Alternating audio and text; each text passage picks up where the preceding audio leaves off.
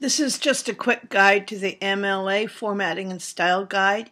You can access um, this easily by typing in Google OWL Purdue MLA or just OWL MLA will get it to uh, will get you to there.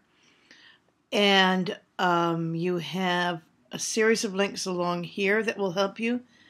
The ones that you will most want to need probably are um, Works cited page for books. Okay. The works cited page for electronic sources. Okay, uh, there's a sample works cited page.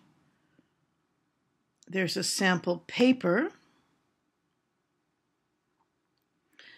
Looks like they did a PowerPoint presentation that you might want to look at. Okay, more complete information than in the slideshow I gave you. If you're using any paper books, or uh, I'm sorry, here are the books, but if you're using paper magazines or newspapers, those are called periodicals. That's the word for a magazine or a newspaper. And there is a section on in-text citations. Okay, so all the information that you need is really here, but it may be a little easier to follow simple instructions that I've given you elsewhere. But just know that this is all here.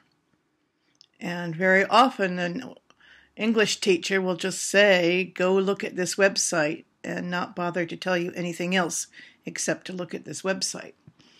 This is a very popular MLA guide that a lot of people use.